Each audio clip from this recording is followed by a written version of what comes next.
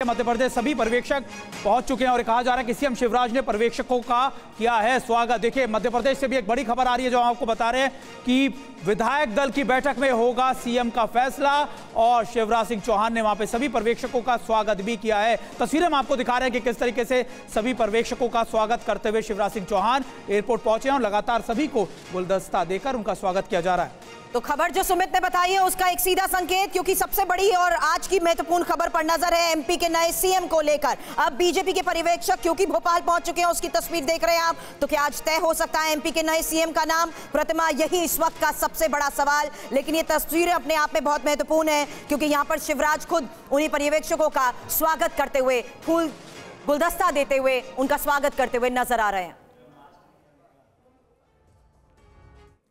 शुभम हमारे साथ इस वक्त जुड़े हुए हैं, सीधे चलेंगे उनके पास। शुभम, ये मान के चला जाए कि बस कुछ समय का ही इंतज़ार है। मध्य प्रदेश से भी ये बात स्पष्ट हो जाएगी कि कौन मुख्यमंत्री बनने वाला है। देखिए, बिल्कुल सुमित, क्योंकि लंबे वक्त से इंतज़ार हो रहा है। बीजेपी ने ये पूरा कैंपेन इसी तरह से किया कि इस बार कोई चेहरा नहीं, बल्कि सामूहिक नेतृत्व पर चुनाव लड़ा जा रहा है।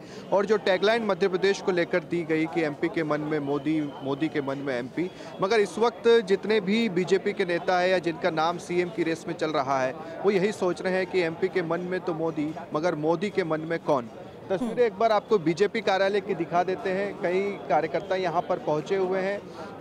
जितने विधायक हैं, उन्हें कहा गया है कि आप अपने पीएसओ गनमैन को बीजेपी दफ्तर के बाहर ही छोड़ें, मीडिया में बातचीत ना करें, सीधे जो है बीजेपी दफ्तर पहुँचे। एक बजे का समय तय किया गया है जब ये तमाम बीजेपी के एक विधायक इस कार्यालय में पहुँचेंगे। पहले फ़ोटो सेशन होगा लंच होगा और उसके बाद तीन बजकर पचास मिनट पर बीजेपी विधायक दल की बैठक शुरू होगी।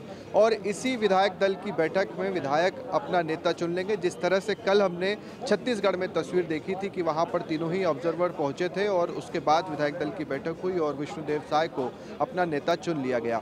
अब नाम चर्चा अगर नामों की करें तो देखिए जिस तरह से छत्तीसगढ़ में आदिवासियों की आबादी सबसे ज़्यादा है, लिहाजा वहाँ पर बीजेपी ने एक आदिवासी चेहरा दिया। मध्य प्रदेश में ओबीसी फैक्टर हमें दिखाई देता है, अड़तालीस फ़ीसदी आबादी यहाँ की ओबीसी है। लिहाजा इन 20 वर्षों में देखें तो उमा भारती हो, बाबूलाल गौर हो या फिर शिवराज सिंह चौहान हो। तीनों ही ओबीसी वर्ग से आते हैं और कयास इसी तरह के लगाए जा रहे हैं कि एक बार फिर से किसी ओबीसी चेहरे पर बीजेपी दाव खेल सकती है। अब इसमें दो चेहरे आते हैं। एक है शुभम देखिए लगातार हमेशा बीजेपी अपनी स्ट्रैटेजी से अपने फैसलों से चौकाती आई है। एक सरप्राइज़ एलिमेंट हमेशा रहता है। अभी क्योंकि आप भी बता रहे कि वो चेहरा आ, आ, आ, किसी समुदाय विशेष से होगा या फिर किसी ऐसा चेहरा हो सकता है जो लाइमलाइट में ना हो। किस किस चेहरों के ऊपर कहा जा रहा है कि इसकी पॉसिबिलिटी बन सकती है? देखिए, बिल्कुल आप चार पाँच नाम हैं, उन पर चर्चा कर रहे हैं। सबसे पहला नाम शिवराज सिंह चौहान का ही सब आता है। आप देखें कि वो भी लगातार कह रहे हैं कि लाडली बहना योजना का किस तरह से इम्पैक्ट इस बार के चुनाव में रहा है, लंबा एक्सपीरियंस उन्हें रहा है। हालाँकि बीजेपी ने कहा है कि हम हम इस बार का चुनाव सामूहिक नेतृत्व पर लड़े हैं। दूसरा जो ओबीसी फैक्टर में देखें तो प्रहलाद सिंह पटेल बड़ा नाम है, केंद्रीय मंत्री रहे हैं। केंद्रीय नेतृत्व ने पसंद करता है और दूसरा ओबीसी का अगर चेहरा है तो ज्योतिरादित्य सिंधिया। इन्हें भी आप इग्नोर नहीं कर सकते, ये भी ओबीसी वर्ग से आते हैं। बीजेपी ज्योतिरादित्य सिंधिया की ताकत को समझती है और उसका इस्तेमाल भी वो भरपूर करती है। अगर इस चुनाव में देखें तो 160 सभाएँ शिवराज सिंह चौहान ने की तो दूसरे नंबर पर सबसे ज़्यादा सभा करने वाला कोई नेता मध्य प्रदेश में बीजेपी की ओर से रहा तो वो ज्योतिरादित्य सिंधिया रहे, जिन्होंने अस्सी से ज़्यादा सभाएँ की।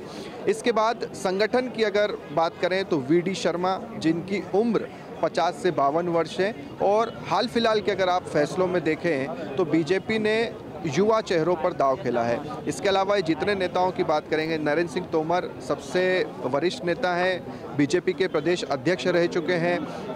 केंद्रीय नेतृत्व किस तरह से उन्हें पसंद करता है संसदीय कार्य मंत्री संसद में रहे हैं कृषि मंत्रालय देखा है। तो उनके नाम को लेकर भी चर्चा है कि किसी को इस पर आपत्ति तो कुल मिलाकर एमपी में शिवराज या किसी और को ताज इस सवाल का जवाब आज मिल सकता है और इसी के लिए पल पल का अपडेट्स आप तक टीवी नाइन भारतवर्ष के तमाम संवाददाता पहुंचाते रहेंगे जो ग्राउंड ज़ीरो पर मौजूद